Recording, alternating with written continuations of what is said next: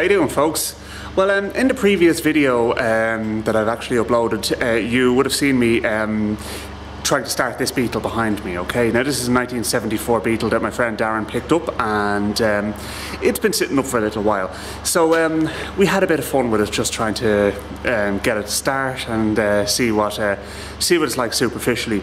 But that's not where we were going to stop. Today what we're going to do is we're going to get into the details on it and we're actually going to find out what does this car need in order for it to run and drive safely and uh, so basically what we need to do is we need to look at the engine, the gearbox, the drivetrain, suspension, steering and brakes. Okay? But first, what we need to do is we need to start taking a few bits off the engine that I want to overhaul anyway because if you remember, one of the issues we had was um, that the engine would start, yes, but it was difficult to start and it wouldn't stay running, so it cut out straight away. So we need to find out why that is. They're a fairly simple engine. You're basically looking at um, ignition and uh, carburetor. Okay, um, we'll also need to look at the, the um, situation with the um, valve clearances, but uh, that's all part of the service in which we will also be doing. Okay, um, I am starting to see why uh, Hubnut um, finds it really annoying that people make an awful lot of noise in the um, in the unit that he's in when they're outside um, because I'm having exactly the same problem here myself. By the way, if you don't follow Hubnut, um, you really do need to. He's brilliant. Um, so uh, yeah, um, I, am a huge fan of his videos. But uh, anyway, uh, that aside, uh, let's have a look at this engine because um, straight away uh, it's looking pretty sorry for itself. Okay, this carry on here. I don't know what in the name of God that was made of. I mean, heat riser tubes are not exactly expensive. Um, that one's held on with a piece of uh, electrical wire going around the coil. The rear tin is missing completely, which uh, if the engine is used for any great amount of time, without that rear tin, uh, it causes the engine to overheat basically because the engine is sucking in the uh, sucking in the hot air that is discharged underneath the car um, instead of sucking in the nice cool air from the top of the uh, engine bay one of the lads um, in the uh, yard here uh, just stopped in and um, I've, I've, heard the story once, I've heard it a hundred times about 10 lads, 10 lads in the back of a Beetle, um, all going off down to the GAA matches and that as well too. But nice chap though all the same, but obviously, um, you know, you, you tend to you tend to get chatting to people when you have a classic VW. And to be honest with you, you wouldn't want to be a um, shy or anything like that, and I certainly am Um, hence why I'm making YouTube videos. But anyway, uh, back to the task at hand. Let's have a let's have another look at this. But yeah, as I said, I never have a try, I never have a problem getting chatting to people. So uh, anyway, right. So the first things we need to do is we need to get rid of these shonky old yokes, get them out of our way. Um, and I'll pull the distributor cap. We'll have a look at that. That fuel filter has to go. But one of the big things we're going to be doing here is we're going to going to be replacing all of the fuel lines in the uh, car with proper um, R9 rated fuel hose, uh, proper stuff, not cheap Chinese rubbish, um, and make sure it's all safe. Then we need to get an air cleaner get that rear tin replaced. I'm looking at the exhaust is looking pretty crusty down there as well too. So uh, I would say we probably will have to do something with that as well. Um, but uh, maybe a nice stock exhaust and a pair of heat exchangers might be the job on this car but sure we'll have a look and see. Okay right. Now let's get stuck in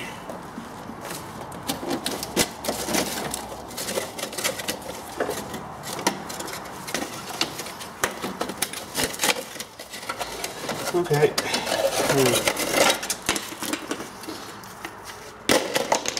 That's one of them off. We'll get this one off here now as well too. One thing is no no rear tin, you don't really have to worry too much about the preheater tubes. Jubilee clip will keep that. one of uh, four that should be on it, but anyway. Um, one of the things that Darren was telling me on this car as well too was the fact that the uh, the car uh, the car had a tendency to cut out, and uh, when you have a Beetle cutting out all the time and it won't idle, a lot of the time it's because these um, pipes that come up uh, here from the exhaust on either side of the engine bay um, get blocked, and uh, they're they're uh, heat riser pipes. And because you've such a long manifold on a Beetle, the um, the tendency is for the um, the the manifold to freeze uh, because of vacuum uh, pressure differential.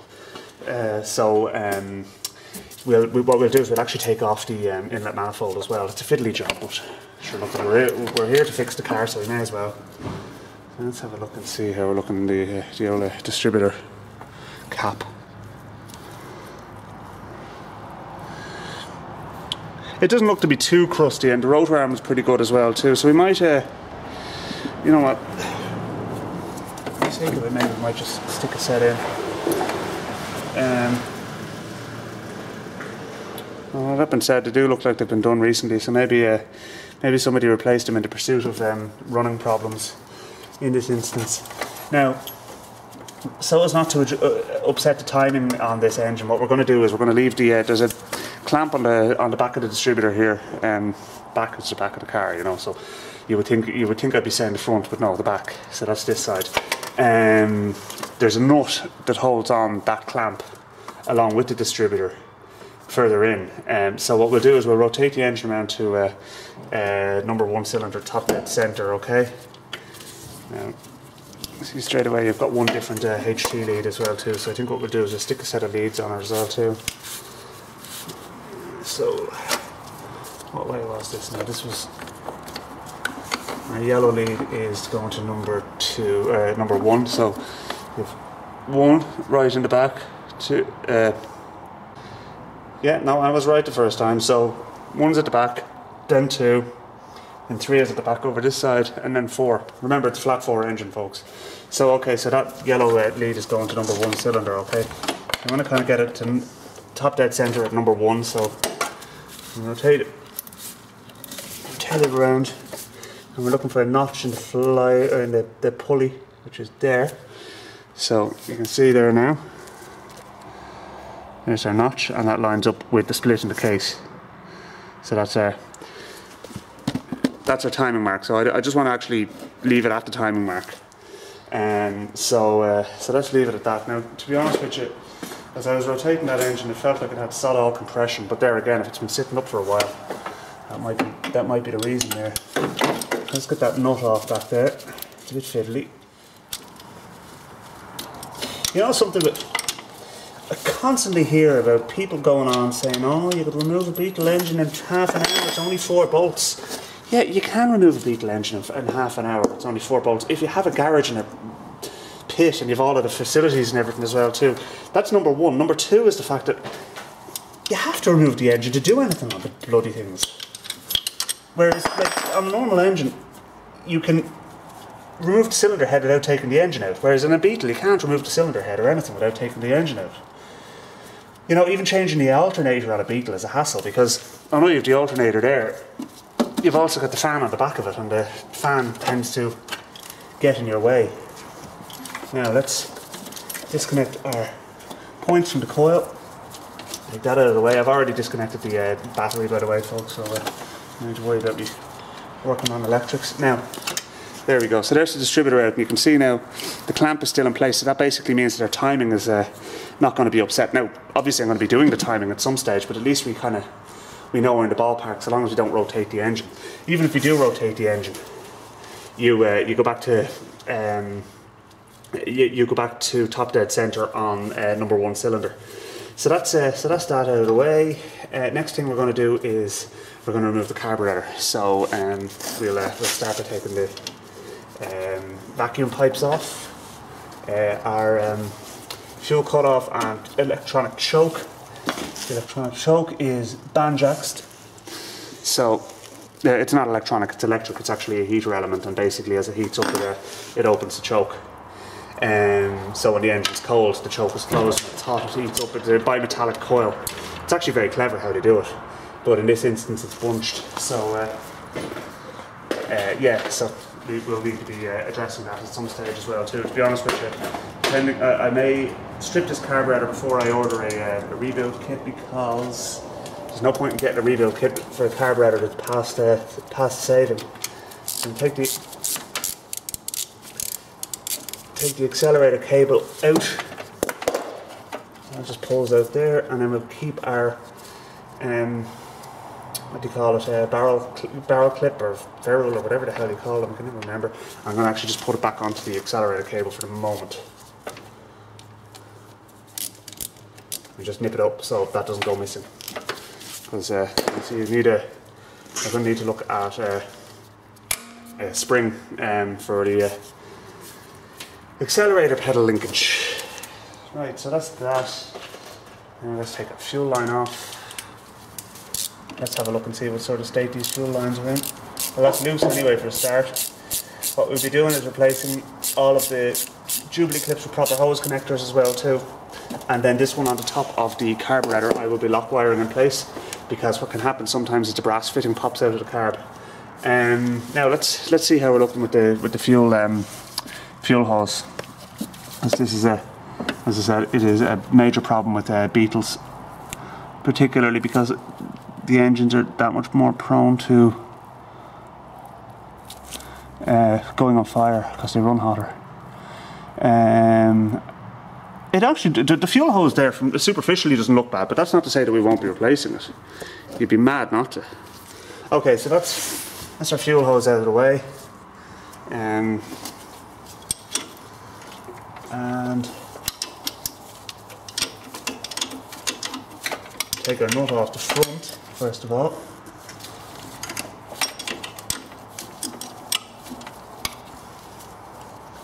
This looks like it is the manifold from a van rather than a car and the reason I know that is because there's a takeoff for the um, there's a takeoff for the, the uh, manifold uh, the, the servo the vacuum servo so um, yeah that will uh, maybe be something we might address uh, to be honest with you if it's working though we might just leave it be if we can get one though so much the better um, I was thinking those heat riser tubes look that, that bit bigger as well too. Maybe they are bigger in a van, I actually couldn't tell you to tell you the truth now.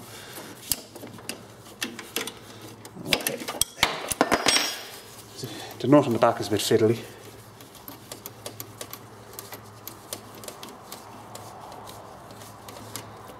Okay. Oh god, they didn't. Yes, they did. Big gob of bloody RTV sealant all the way around the base of the carb rather than using the proper gasket. For God's sake, people. Right. Bodge artists. And the threads are stripped out at the bottom of the carb. And there's like an adapter on it as well too, so what we'll be doing is maybe um, we'll, we'll use some chemical metal to stick that stud in place or whatever and we can uh, see uh, see how we get on but uh, that's straight away that's the wrong manifold for this engine. Now this engine happens to be a an AS engine. So. Hmm. need to have a look at that. Looks like there may be oh god There's been some amount of playing going on with this, I can assure you folks. It's like there's a, a loop back for a full flow oil filter on this, uh, but there's no full flow oil filter on it. Um, so yeah, anyway, let's uh, let's keep going. Um, so what we will do is um, get all those fuel lines out of the way first of all.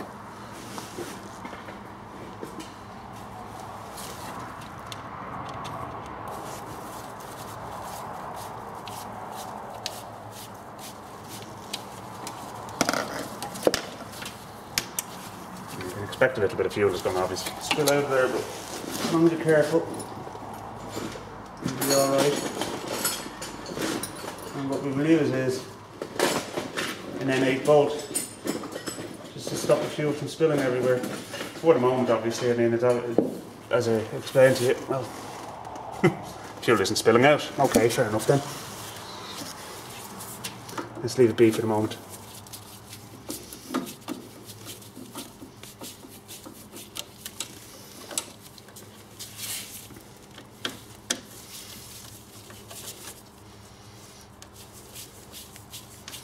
Now it's one of the things that people put a, people put the fuel filter in the engine bay for uh, for ease of access and changing and that as well too, thinking that it's the right thing to do. But It is most certainly not the right thing to do because a fuel filter is a point of failure. And you don't want a point of failure in the engine bay where everything is hot. What you do is you put the fuel filter up the front of the car, and uh, that keeps it away from um, away from sources of ignition. Um, so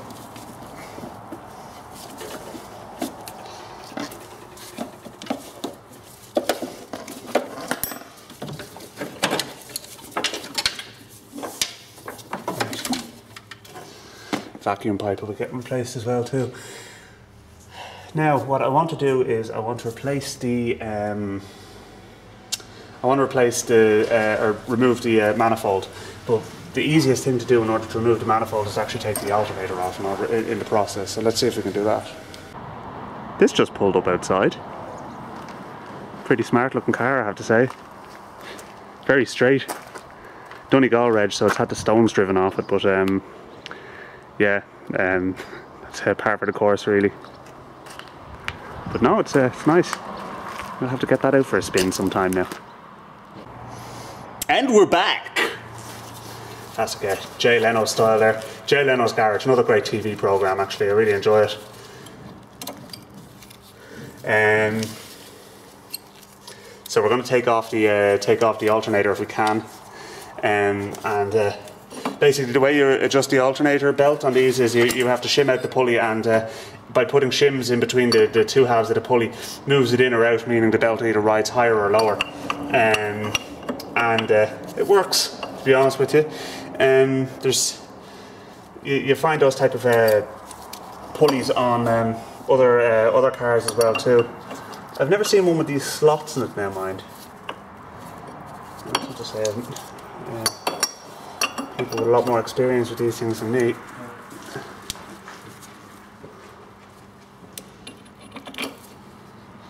Yeah.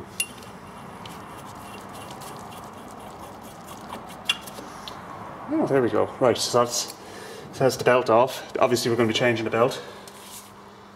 Uh, it's looking pretty shiny. So, another thing for the scrap pile. Um, so I will take some photos of the wiring of the alternator on my phone. I know the alternator is working, so uh, that's a bonus. Um,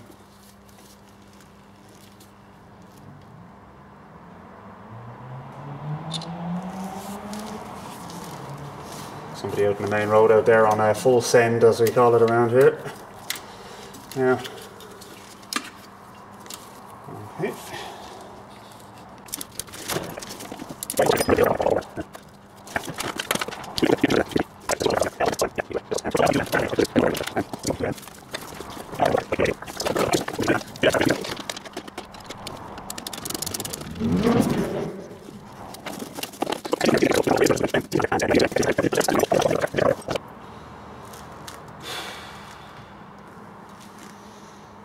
You know what, folks? We have to take this engine out. It's the only way forward. It's the easiest thing to do because we have to do our pushrod tubes as well too now at this stage. So you're talking about doing pushrod tubes, changing the inlet manifold, changing the carburetor. I mean, I suppose it depends on how far Darren wants to go with this. I mean, I could probably probably try and patch everything up and make it work. But is it the right way? No. This is a cheaper way, yeah. But either way, I mean, you're going to have an engine that's leaking oil. Because in order to do the pushrod tubes properly, you have to take out the engine. What a pain in the face this is.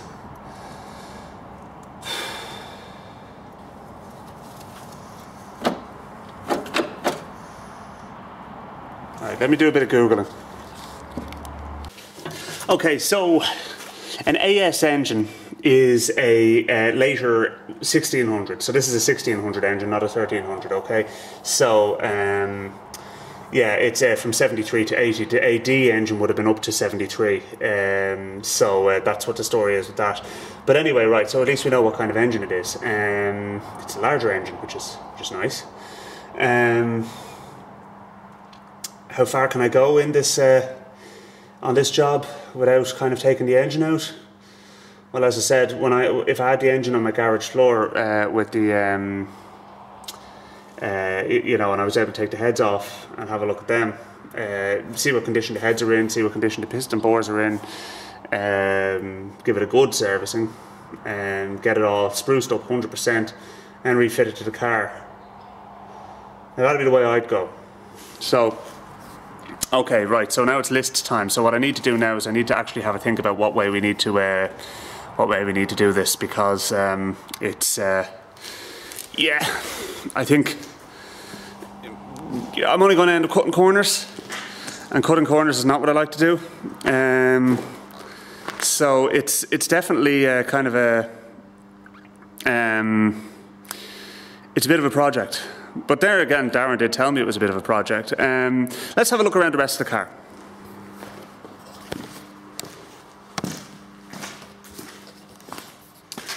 So, I would say it probably needs an exhaust. Um, we'll have to change the gearbox oil as well too in the process. Um, handbrake is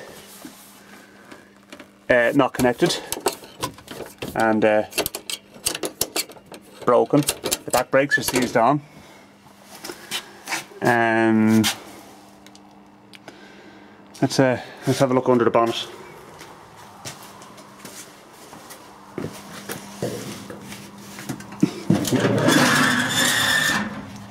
Quality sound right there, folks.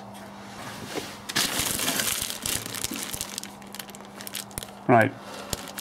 Our brake fluid reservoir is empty, which explains why our pedal's going to the floor. So, uh, we've obviously got a leak there somewhere. Um, so you're talking full brake overhaul, uh, engine, um, probably myriad bushings and ball joints and stuff like that as well too. I think what we need to do is we need to focus on the engine first of all. Okay, right, so here's the plan. Um, I've spoken to Darren and um, get it running, make it safe. Basically, that's what we're looking. So um, I'm going to stop short of dropping the engine. I'm not, I'm not doing that. Uh, personally, I thought, to be honest with you, we were at the point where I was thinking, pull the engine out and get a known good second-hand engine that hasn't been messed with as much as this one has.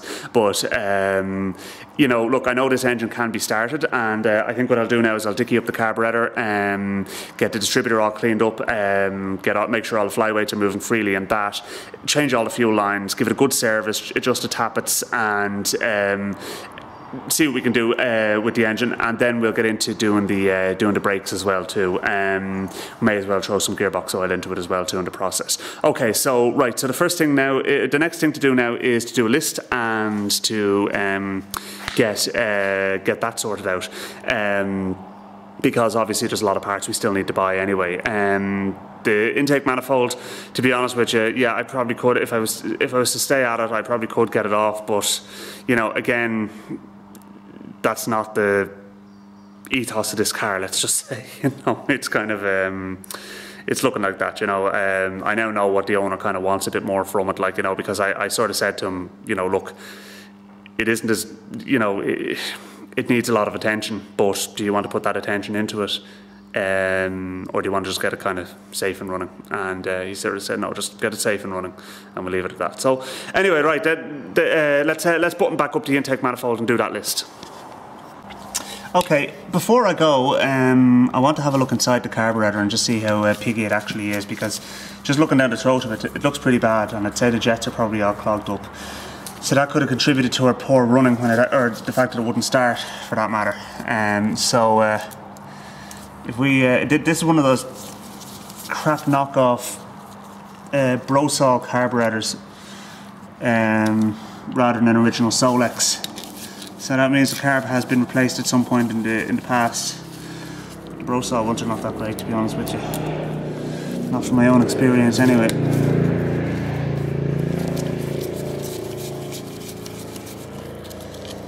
Yeah, it's five screws and then that, that basically allows us to take off the cover of the float bowl and uh, we're going to need a new spring for it as well too.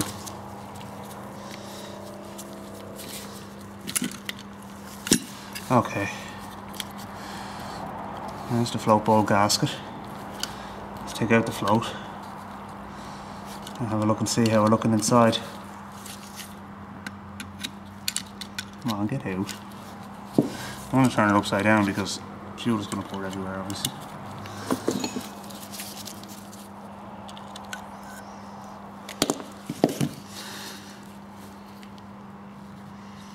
Okay, it's not as piggy inside as I expected it to be.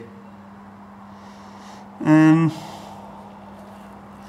yeah, the throat is pretty uh, mucky, but the actual, like if we take out the, uh, at this led and let's see, this looks like it's probably fairly well blocked. this is the emulsion tube. It's not blocked.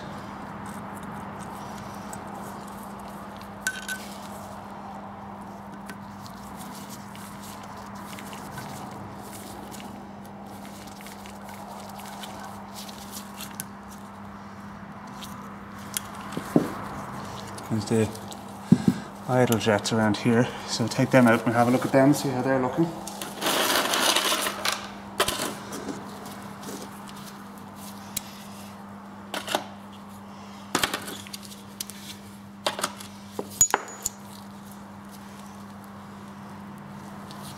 Of course, we could do that if we could find a, a socket.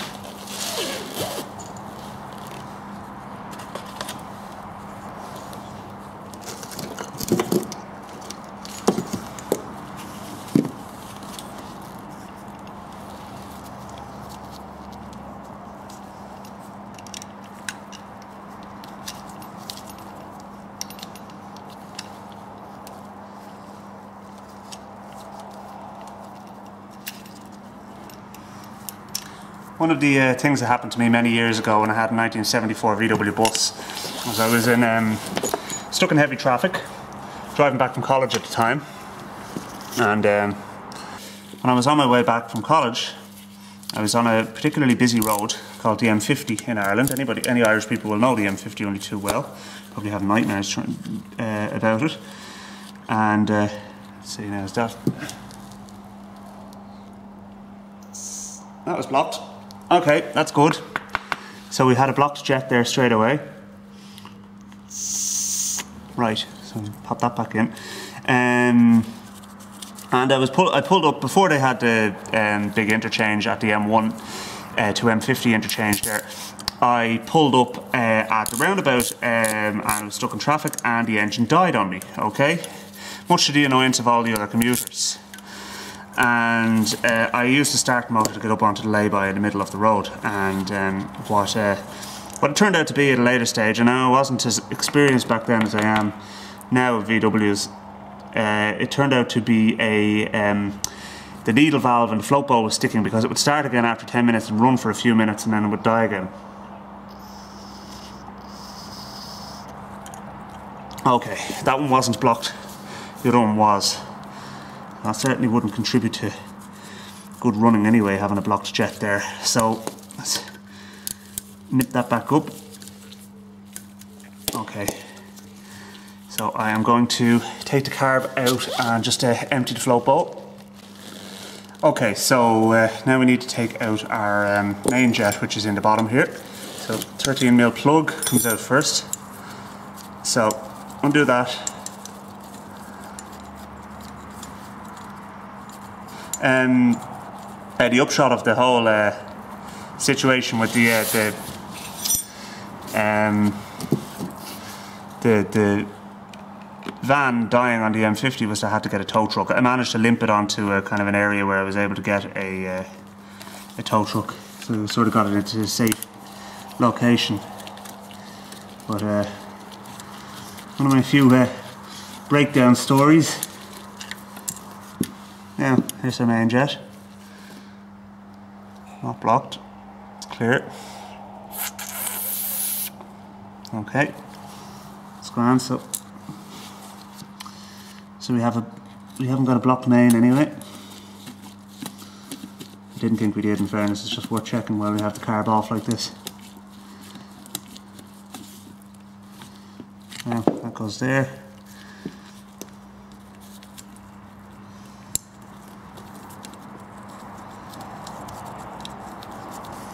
The, uh, the, the, adjustment screws for the carburetor, by the way, is that, uh, that's the idle one, and then the small one there is your uh, mixture screw.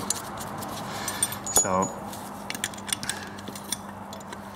just in case you were wondering, something we have a look at. But you only start fiddling with that after you've done everything else. You know, once you're 100% happy that everything else in the engine's right, then go fiddling with them. But don't just go twiddling screwdrivers left, right, and centre. If you have your timing is off or your valves aren't set properly or any of that kind of carry on, you're never going to get it right.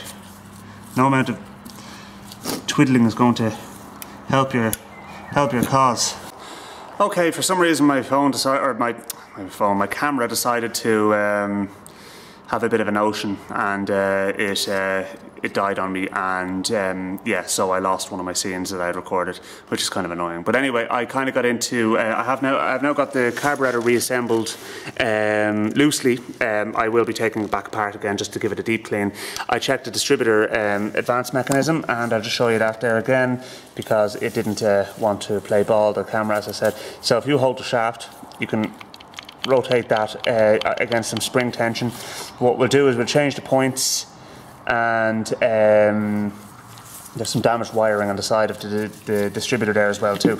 So that needs to be um, that needs to be addressed anyway. So we'll stick a new set of points in it. Uh, so that's one service item. Clean the carb, uh, clean the carb, change the points, uh, adjust the valves, uh, check the timing, um, we will uh, button everything back up that I've disconnected here on this as well too, throw a new uh, alternator belt on it, um, change the oil obviously as well too, and um, we'll, uh, we'll put a new carb base gasket onto it as well because obviously the, that RTV is not supposed to be there. See if we can do something about the damaged stud, um, new air ducts, new um, uh, new rear tinware, new air cleaner. Uh, then we'll then we'll get on to doing the gearbox, and then we will uh, just servicing the gearbox, like basically change the oil in it, and then we will do the uh, brakes. And the brakes are a pain in the face because there is a big stupid 36 mil hub nut in the middle which needs to be loosened in order to get the dr drums off. And we will have to try and get at that, uh, get that removed. And usually they're tighter than a tight tin. Insert insert suitable simile here. Um, so we uh, we need to obviously address that. Uh, so uh, yeah, because there's no fluid in it, it could be the uh, flexible pipes to come down from the uh, reservoir down to the um, master cylinder. It could be the master cylinder itself is leaking. It could be a slave cylinder. It could be a hydraulic pipe is burst or damaged or perished or something like that. So we need to go through all the brakes and find out what is exactly going on. Then we need to address the handbrake. We need to replace the handbrake cables because they are bunched. So uh, yeah, it's a bit of a bit of a project, but. Um, nonetheless, we will uh, we will persevere and we'll get this car back on the road. So uh, anyway, look, thanks a lot for watching, folks, and um, we will uh, we'll pick this up again in a future video. Uh, there's plenty more to be done, so um, don't forget to like and subscribe, and um, I will uh, show you how we get on. Thanks for watching.